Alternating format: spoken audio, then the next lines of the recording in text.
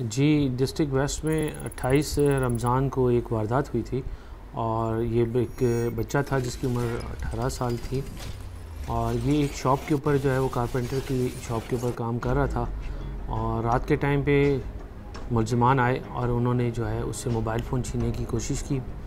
اور mobile phone چھیننے کے بعد انہوں نے اس بچے کا قتل کر دیا، اس کو مرڈر کر دیا، فائر کر کے اور یہ ایک بلائنڈ مرڈر کیس تھا ہمارے لیے اور بہت چیلنجبل کیس تھا اور پھر ہم نے اس کے اوپر جو ہے وہ محنت کری دن رات کوشش کرنے کے بعد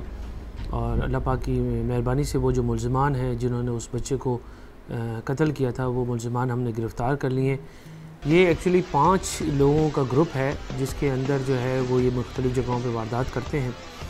جس میں دو ملزمان جو ہیں وہ گرفتار ہو چکے ہیں اور مزید تین کی تلاش ہے۔ ویپن ہم نے ان کے پاس سے ریکور کر لیا ہے۔ وہ جو فون چھینا گیا تھا وہ بھی ریکور کیا ہے۔ بڑے افسوس کی بات ہے کہ جس فون کی خاطر اس معصوم بچوں کی جان لے لی گئی اس کی انہوں نے اس کو پانچ ہزار میں فروخت کیا اور ان ملزمان کے حصے میں پندرہ پندرہ سو روپے آئے تھے اور اس پندرہ سو کی خاطر انہوں نے اٹھارہ سال کے بچے کی جان لے لی۔ یہ ایک کرمنل گروپ ہے اور ان کا سارا دن یہی کام ہے کہ مختلف جگہوں میں واردات کرتے ہیں اور ہم ان کے پیچھے لگے ہوئے تھے۔ الحمدللہ اللہ کی مہربانی سے جو ہے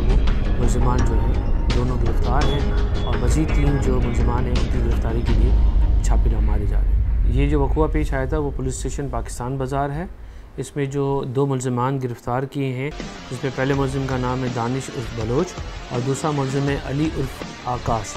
یہ دونوں ملزمان گرفتار ہیں اور میں اپریشیٹ کرتا ہوں اپنی ٹیم کو، جنہوں نے بڑی محنت کر کے ان ملزمان کو گرفتار کیا اور ان کو انعامات بھی دیے جائیں گے۔